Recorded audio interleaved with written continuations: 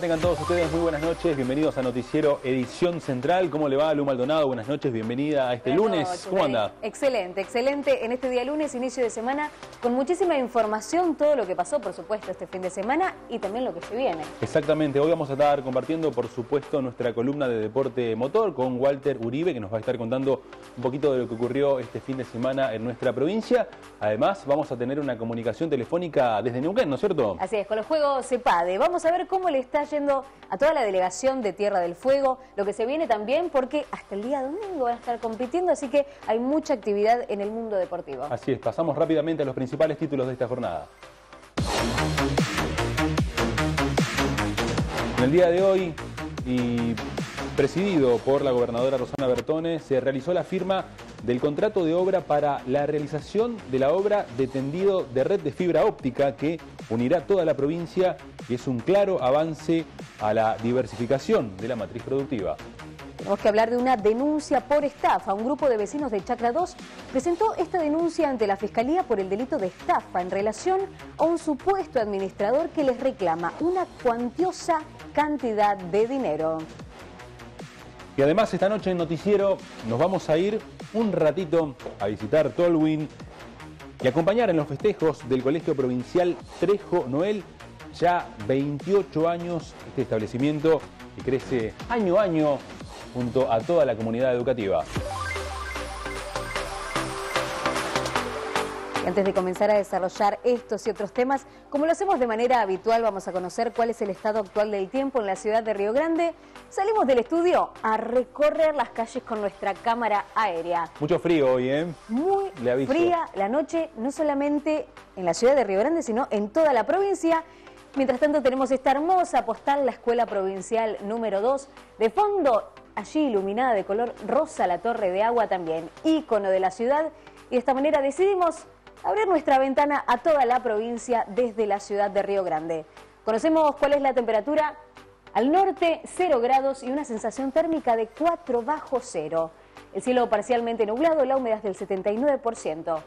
Pasamos al corazón de la isla, en la ciudad de Tolwyn, 0 grados y una sensación térmica de 2 bajo cero, también parcialmente nublado, con una humedad del 85%. Por último, nos queda la ciudad de Ushuaia, la capital de la provincia. Allí tenemos una temperatura de 1 grado y una sensación térmica de 1 bajo cero, así que una noche muy fría. Arrancamos la semana de esta manera, por supuesto. Al final de la edición vamos a charlar con Néstor Viera sobre lo que resta del pronóstico para esta jornada. También te contamos que no solo estamos en televisión, sino a través de las redes sociales. Estamos en Facebook como Noticiero Canal 13 Tierra del Fuego. Allí te vas a enterar de todo lo que pasa en la provincia, el país y en el mundo. Ya somos, a ver si lo tengo Dígame. por aquí, 21.903 personas Muy bien. las que le pusimos me gusta, así que te esperamos a vos también en nuestro Facebook, Noticiero Canal 13 Tierra del Fuego. Lo anticipábamos en nuestros principales títulos, se realizó en el día de hoy en la ciudad de Río Grande la firma del contrato para lo que será la construcción de la red de fibra óptica que unirá todo Tierra del Fuego. Se estima una obra de 300 días corridos, nosotros ahí estuvimos.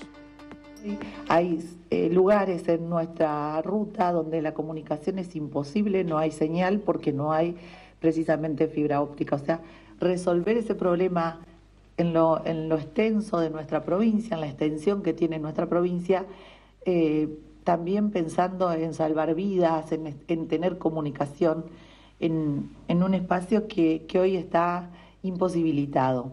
Eh, es también una obra importante porque para muchos de los trabajadores de la construcción queremos seguir manteniendo el nivel de empleo y esta es una obra que da mucha mano de obra y es también una obra pensando en el futuro de la provincia en cuanto a industria tecnológica queremos ser. Eh, estamos siempre planteando que queremos una diversificación de nuestra matriz productiva y en este caso si nosotros tenemos la posibilidad de tener una buena conectividad digital podremos ingresar con la capacidad que ya tenemos del saber hacer de nuestra gente y con la capacidad instalada que tiene la industria electrónica a la industria del software. Ese es el gran desafío de esta provincia. Se ha firmado el contrato para iniciar la obra de la creación de lo que es el desarrollo de la fibra óptica en Tierra del Fuego. eh, provincial, ¿sí? una obra del Estado, una obra pública que va a alcanzar desde Cuyen hasta Ushuaia. En esta primera etapa la obra comprende todo lo que es el zanjeo y la instalación del tritubo con los cables correspondientes que después del encendido van a generar la capacidad de conectividad que nuestra provincia necesita. Se va a llevar adelante en cinco frentes diferentes, o sea, la, la capacidad de obra de la empresa va a necesitar iniciar la obra en forma simultánea en cinco puntos diferentes de nuestra provincia. Claro está que las dificultades van a ser diferentes en la zona de la cordillera, en la zona de Cuyen, acá en la zona de Río Grande y Tolwyn. O sea, se va a tener que adaptar a diferentes tipos de terreno y resolverlo para llegar adelante en 300 días corridos a partir del inicio de obra. Esta obra eh, implica que haya una mejor conectividad a Internet en, a lo largo de toda la provincia.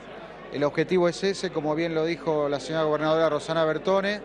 La idea es darle mayor calidad a la conectividad y en beneficio a todo lo que es la vida cotidiana de nuestra comunidad, desde la educación, mayor conectividad a las escuelas, pero también durante el recorrido de la ruta, donde hoy hay, sabemos que hay lugares que no tenemos comunicación y tiene que ver con la salud, con la emergencia médica, con algún accidente que se pueda rápidamente comunicar, pero también con el comercio y con la industria. Y también planteó que esto va a ser un piso muy importante para el desarrollo de la industria del software y la comunicación. Ella se planta claramente desde la diversificación de la matriz productiva y Tierra del Fuego necesita estos instrumentos para llevar adelante ese desarrollo. Acompañando la, gestión, eh, la verdad que muy contento por esta obra que se firmó. Eh, por la, por la mano de obra que va, que va a ocupar en los tres sectores de la, de la provincia, ¿no? tanto como Ushuaia, Torwin y, y Río Grande a medida que vaya avanzando, bueno, vamos, van a ir tomando gente de, de cada sector.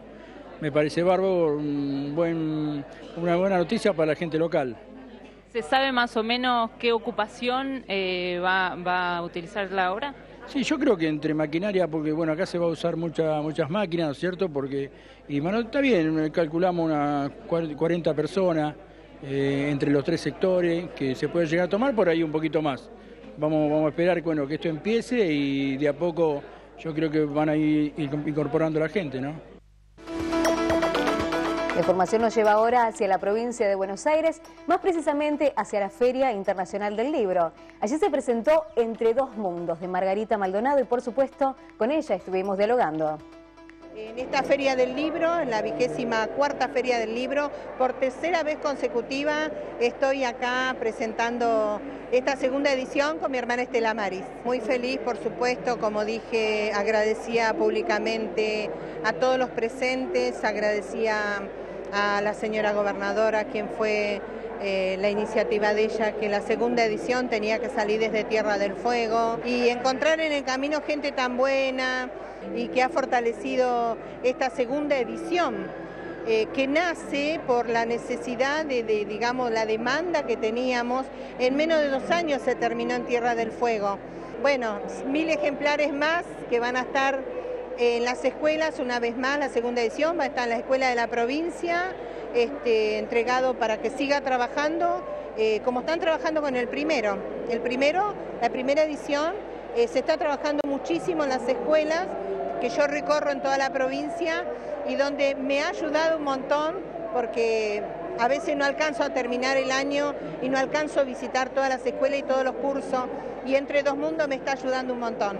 Eh, en esta obra literaria porque llega a muchos lugares, muchos lugares y que es muy importante leer, es muy importante leer, eh, leer un libro, eh, es una historia viviente de cada persona que lo escribe, porque lleva muchas cosas y muchas vivencias. Eh, es un nacimiento, este fue un nacimiento. Eh, vamos a llamarle un caubade, como decía en nuestro pueblo cuando nacía un bebé. Este, es toda una ceremonia y esto fue una ceremonia. Nos vamos ahora al ámbito internacional, más precisamente a Ecuador, para hablar de estos perros policías que pasan a ser mascotas. Esto fue en un acto celebrado en Quito. Allí hubo, como vemos, alfombra roja, uniformes y medallas. 61 perros pasaron a ser efectivos policiales y mascotas particulares. Los guías arrodillados a su lado les quitaron una especie de chalecos con insignias policiales y los entregaron a sus nuevas familias, que fueron vestidas para la ocasión y de inmediato Como vemos, les dieron unos mimos, caricias mientras sonreían. Las familias adoptivas debieron cumplir con varios requisitos, entre ellos capacidad económica, espacio, tiempo y decisión de cuidado, entre otros. Adicionalmente, la institución policial cumple tareas de verificación del cuidado y buen trato a los canes adoptados casi cada seis meses lo hacen. Más de la mitad de los nuevos dueños fueron los mismos policías con los que los canes formaron binomio durante su vida operativa. Estamos hablando de perros que estuvieron trabajando toda su vida y que ahora un poquito más viejitos merecían esta oportunidad de tener un hogar, de poder descansar. El jefe del Centro Regional de Adiestramiento Canino afirmó que estos perros cumplieron su tiempo de servicio en el trabajo policial de entre 8 y 10 años, muchísimo tiempo, en actividades como antinarcóticos, orden público, espectáculos. La mayor parte de los animales jubilados, les podemos decir de esa manera, pertenece principalmente a las razas pastor alemán, golden retriever y labrador. Así que desde Ecuador nos llegan estas lindas noticias, perros que estuvieron durante muchos años trabajando y que ahora pasaron a ser mascotas. Vamos ahora a cambiar de tema. Finalizaron los exámenes de aquellas personas interesadas en trabajar en la Antártida. Recordemos que es una propuesta nacional que tuvo gran adhesión de la provincia, ya que más de 120 fueguinos enviaron sus currículum. Instalaciones de la DNA, eh, esto es en la Universidad de San Martín, se efectuó el examen eh, técnico para la selección eh, de futuros invernantes de la Dirección Nacional del Antártico y del Instituto Antártico Argentino para invernar en la Antártida eh, durante el año 2019. En este sentido, la provincia también tuvo presente, no solo en la presencia física durante el examen, sino que en este año la provincia se sumó a la convocatoria nacional eh, para gente que desee desarrollar sus trabajos en la Antártida y a manera de provincializar la convocatoria, hemos convocado y hemos tenido una aceptable respuesta de los fueguinos interesados a trabajar en la Antártida. En esta oportunidad la convocatoria estaba destinada a técnicos informáticos y técnicos electrónicos. En una semana de inscripción la, la Secretaría recibió alrededor de 120 currículum, eh, que sumados a alrededor de 100 que se habían inscrito en el orden nacional tuvieron el día martes el, examen de selección. En el transcurso de la semana que viene se van a tener los resultados y ahí veremos y, así lo comunicaremos si es que algún fueguino este, ha pasado esta etapa. Esperemos que sí, son 120 aquellos que enviaron sus currículum a esta gran convocatoria que se llama Tomate el Buque y que te deja directamente en la Antártida. Ahora volvemos a lo que pasa en la provincia. 133 años cumplió la Policía Provincial y nos vamos a conocer la historia de dos agentes que tenemos aquí en la ciudad, de Adrián y de Sergio, que rescataron a un bebé hace muy pero muy poquito. En un momento que yo bajo a comisaría, eh, en el móvil, cuando estoy entrando a dependencia, escucho la frenada de un vehículo, una frenada brusca en la parte del playón lateral me llamó la atención, o cuando giro me doy vuelta, eh, veo una persona que se baja rápido, eh, a los gritos, diciendo ayúdeme, mi bebé, mi bebé, mi bebé no reacciona. O sea, es por tal motivo que yo me acerco rápido al vehículo y puedo ver por la ventanilla que tenía al bebé en la sillita trasera, tapado con mantas. Entonces yo lo ayudo a sacarlo de la silla y lo tomo yo en brazos y eh, ingreso a la comisaría. En ese trayecto, eh, lo primero que hago es mirarlo al bebé, donde se veía sea, que estaba pálido y se notaba morado ya en la parte de los labios, por lo que ingresé lo más rápido que pude a la comisaría eh, y diciendo que, que, pidan una ambulancia rápido. Quien se despeja el primer escritorio, se pone sobre la mesa y lo que se ve de forma inmediata es que el bebé directamente no había movimiento, no había reacción alguna y los labios lo tenía de una coloración morada. Como estaba tan envuelto en la frazada, lo que hice inmediatamente es ordenar a alguien que, que abra para ventilar el, el espacio, sacarle la, la, frazada para ver si había algún otro movimiento básico de, para, para iniciar este, las maniobras de RSP en caso que sean necesarias. No había movimiento alguno, lo que se hizo fue sacar la frazada, sacarle las medias, sacarle y levantarle un poco lo que tenía en la remerita y este, fijarse si tenía este, respiración alguna. Se toca al bebé en la parte del pecho y se siente un, leve latido del corazón. Nos da indicio que bueno, no estaba en una situación tan desesperante, pero sí crítica, que no se movía y no respondía a ningún estímulo externo. Por lo que al mover la cabeza ya el padre se quedó un poco más tranquilo, nosotros también, y inmediatamente llega lo que es este, unos masajes al bebé, tocándolo, agarrando las piernas, levantando un poquito las piernas, ahí ya reacciona un poco más y hace movimiento de cabeza. Ya papá, quédate tranquilo, ya está, ya pasó, llega la ambulancia, llega el personal este, sanitario, acude al lugar, sigue viéndolo que estaba, que estaba un poquito estable, lo cargan rápidamente en la ambulancia y ahí ya das otro síntoma al bebé y larga un llanto. Ahí ya nos quedamos mucho más tranquilos y le colocan oxígeno al interior y esa fue la secuencia básicamente, fue en cuestiones de, segundos y, pensar con, no pensar básicamente con la cabeza fría, hacer este, estos movimientos o, o algo para que reaccione el bebé de manera, manera rápida.